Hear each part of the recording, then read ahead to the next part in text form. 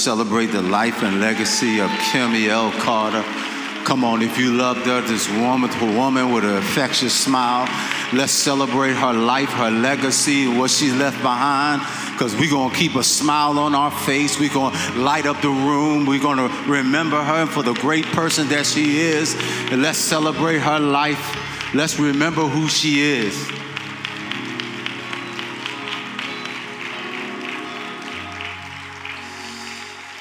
We greet you in the precious name of Jesus, who is the Christ, and, and, to all of the clergy that is represented here, and to Destiny, and to all the family and friends. For the Bible lets us know that earth has no sorrow that heaven cannot heal. For he's the God of all comfort, that he will comfort you during the time of need, that you may be able to comfort others. That word comfort means to strengthen, that God will give you the strength to be able to bear through the pain of losing a loved one. is nothing other than God helping you through a time like this. Uh, we've come to celebrate her life this morning. I thank God for all of those that who have made remarks this morning. Um, for you have spoken her eulogy. Um, for Leslie and uh, Marvin and all of those who spoke, they spoke well of her because the word eulogy means to speak well of and they spoke well of her life, and they spoke how much she has meant to all of you through the course of the years. But also, eulogy is meant for those that are left and those that remain, for they need to be comforted by God of how to survive after the loss of a loved one. And the Bible has something that to say about that, and God has something to say about that that's found in Psalms chapter 46, verse 1. And the Bible says this God is our refuge and strength. He's a very present help in trouble. God is our refuge and strength. He's a very present help in trouble. A song in the key of life. In 1976, Stevie Wonder wrote an album entitled Songs in the Key of Life. This album is considered to be one of the greatest albums of our time. It is said to be one of the greatest albums of our time is because Stevie Wonder uses many genres of music. He uses pop, he uses rhythm and blues, he uses soul music, and because he uses many genres of music, people and musicians consider this to be one of the greatest albums of our time. But not only do they think it's one of the greatest albums of our time because he uses many genres of music, but he also believed that this album is one of the greatest albums of our time because it crosses ethnical and racial lines. Whenever you go to a Stevie Wonder concert, you'll see blacks, you'll see whites, you'll see Asian, you'll see Hispanics because his music transcends across ethnic and racial lines. But not only that, but this album is considered to be the greatest album of our time because it has stood the test of time. Whenever you hear a Stevie Wonder song off of the sounds, sounds of Keys of Life, you'll hear songs like Sir Duke. You'll hear uh, Isn't She Lovely? And you'll hear those songs. And when people hear those songs, they still snap their fingers. They still clap their hands. They're able to sing to the songs or the lyrics of those songs because Stevie Wonder's songs of the key of life has stood the test of time. It's considered to be one of the greatest albums because of that.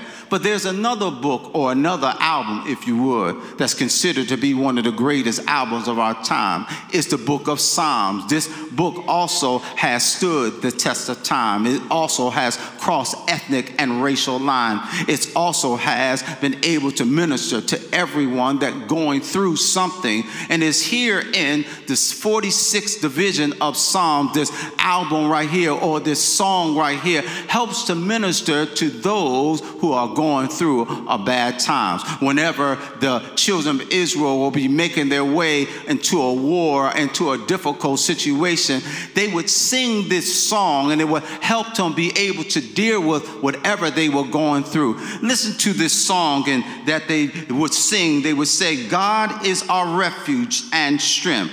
He's a very present help in trouble. Therefore, we will not fear, even though the earth be removed, even though the mountains be carried into the midst of the sea, though its waters roar and be troubled, though the mountains shake with the swelling. Uh, he said, Selah. The word Selah there means to stop, meditate, and begin to think about what you have just sung. And the first stanza of the song, he says, Meditate on this.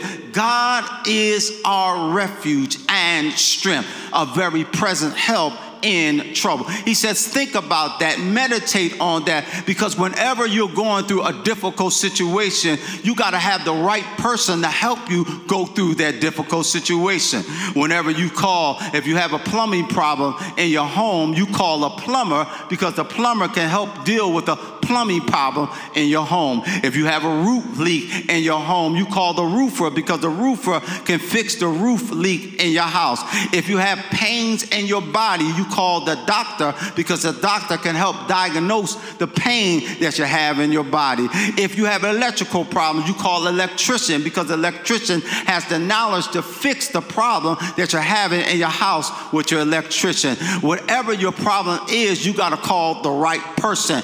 You don't call an electrician when you have a plumbing problem. You don't call a mechanic when you're having a problem that with your roof. You got to call the right person to help you handle the problem that you have. Well, whenever death comes, there's only one person that I know can help you handle the death that you're going through or the problem that you're going through. And God is the one that can help you handle this problem and help soothe the problem. He says, God is our refuge and strength, a very present help in trouble. He says, first of all, you've got to recognize that God is your safe place. That word refuge means refuge means that God is your shelter.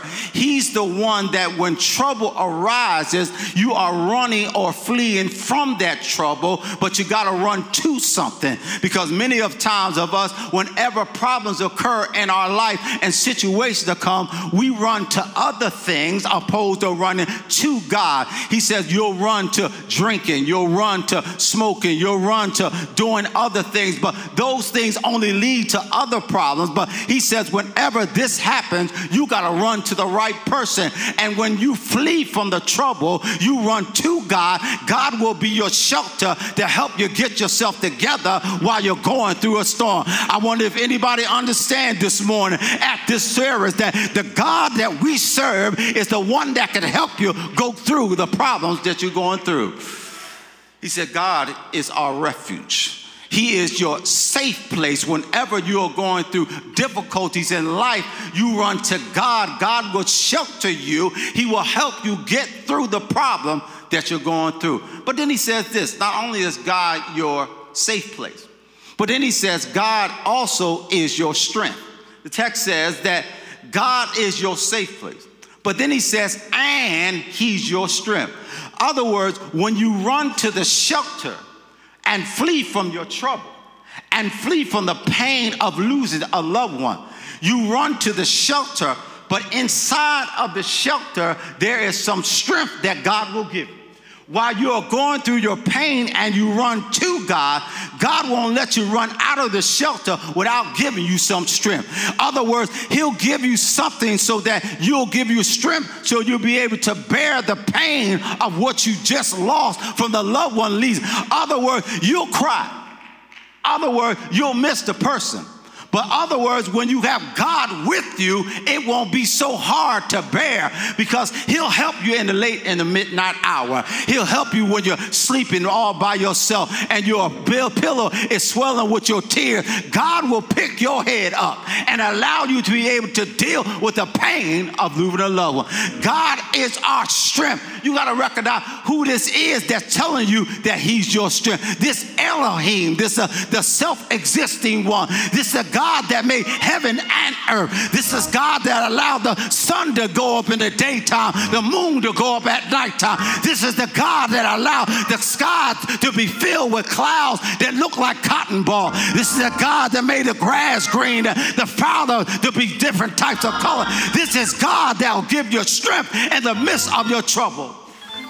He said that God, He is your strength. He'll be able to help you bear what you're going through. I thank God that God is my strength. He said, because when you are weak, I am strong.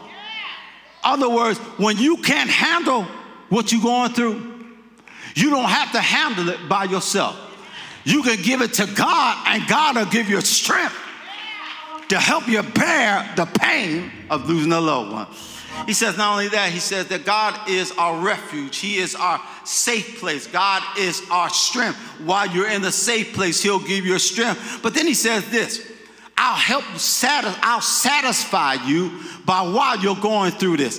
He says that He is your safe place, your strength, but in the time of trouble, not while trouble has left. He says, while trouble is going on right now, whatever your trouble is, God says that I'll get in the trouble with you while you're going. I won't be on the outside of the trouble. I'll get in with you where the trouble is existing.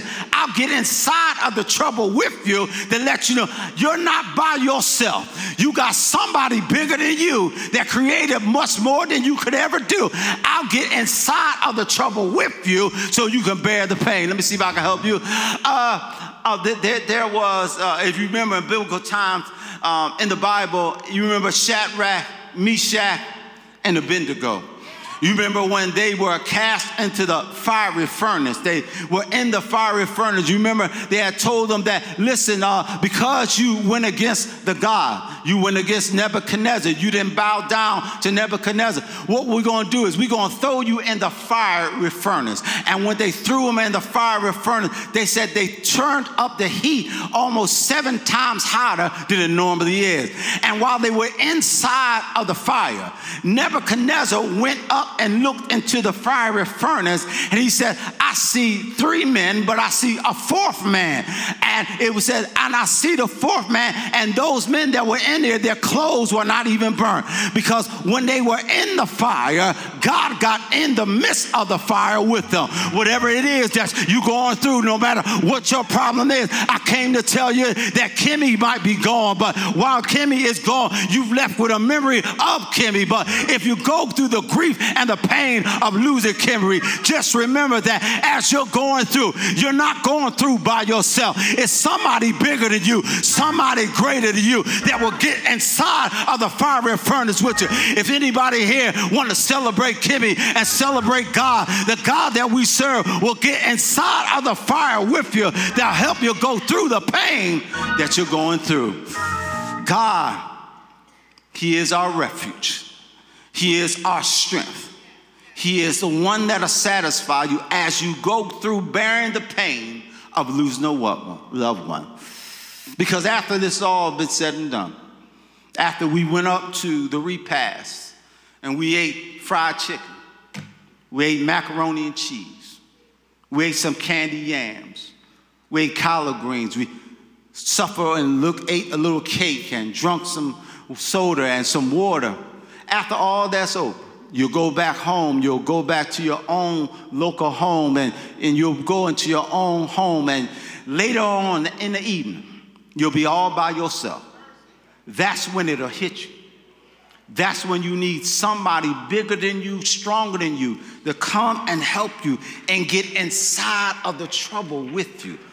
God is the only one that I know He'll get inside of the trouble with you. And when you leave and, and when you wake up the next morning that he's got inside the trouble with, you'll feel a little bit better. You'll feel a little bit lighter. Because that's why he says, Cast all my cares upon you. Because he cares for you. Give it to him. He'll give you the strength to be able to bear it. With every head bowed and every heart closed. We thank God for being the song in the key of life. We thank for Him being able to be the refuge, our safe place. He's the one that give you strength during the time of need. But there might be someone here at this service. You don't know about the God that I'm talking about. The God that can help you bear the pain of what you're going through. I tell you one thing the Bible says that the day that you hear his voice, don't harden your heart. Now is the appointed time. Other words,